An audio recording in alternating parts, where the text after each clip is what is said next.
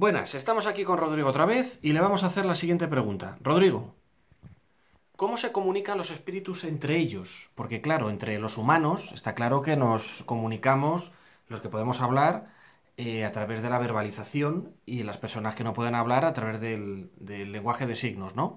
Pero ¿cómo se comunican los espíritus entre ellos?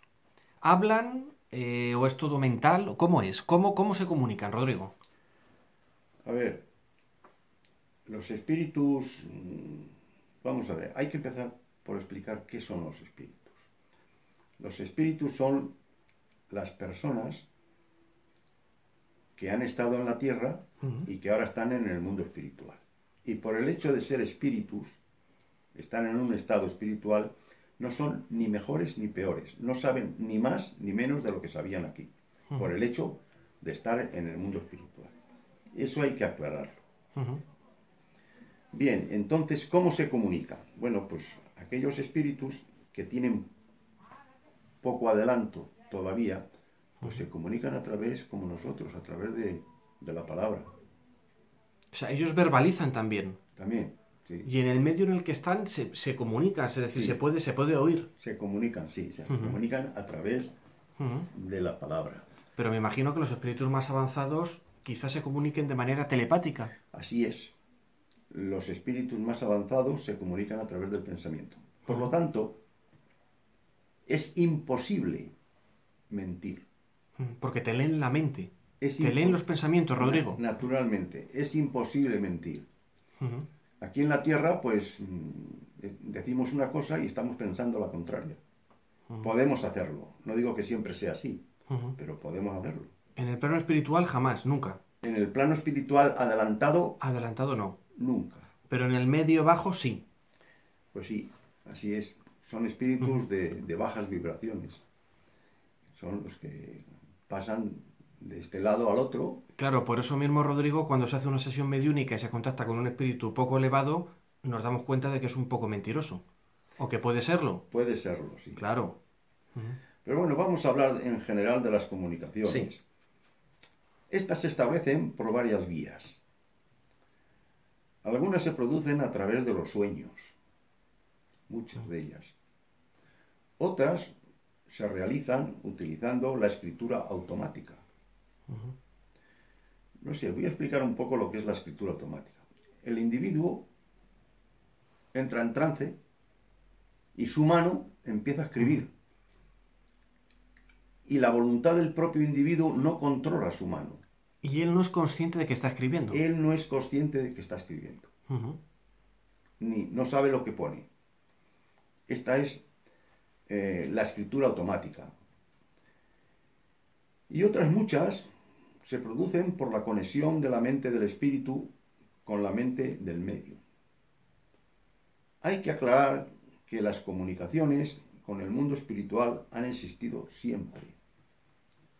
No porque no es que ahora Ujú. se realice, no. Vamos a ver, el mundo espiritual con el mundo terrenal siempre ha existido. Desde la época de los egipcios y antes. Siempre, siempre, siempre ha existido. Porque las mentes de los espíritus se comunican con las mentes de los humanos, de los humanos terrenales. ¿Y cómo se comunican? Pues a través de lo que antes llamábamos el perispíritu.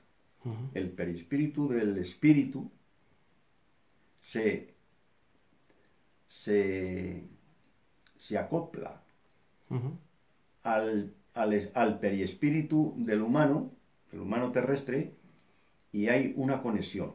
Ahora bien, eso tiene que ser que el humano, el humano de la Tierra, esté, mm, tenga condiciones para que el perispíritu del espíritu se, como, se, se acople al espíritu de, del medio tiene que estar tiene que estar entrenado tiene que a ver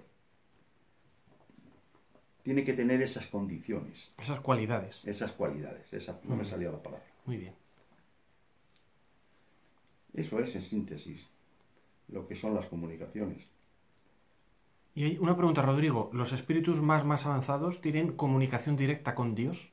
¿O eso no es posible?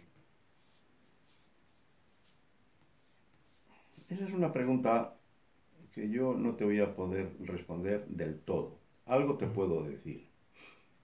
Mm, vamos a ver. Mm, nosotros siempre, a través de las buenas obras, siempre estamos comunicados con Dios. Una de las cosas que a mí me dijeron en el aura humana es que yo estaba comunicado con el universo, que también salen los colores. Luego te lo explicaré. Luego te enseñaré la foto para que explicártelo. Esa es una de las cosas. Por eso digo que todas aquellas personas que se comportan bien, que son honestas, que son amorosas, que en definitiva cumplen con las leyes que Dios creó, siempre estás comunicado con Dios. Si eso ocurre en la tierra, mucho más con aquellos espíritus que son muy elevados. Claro. Claro.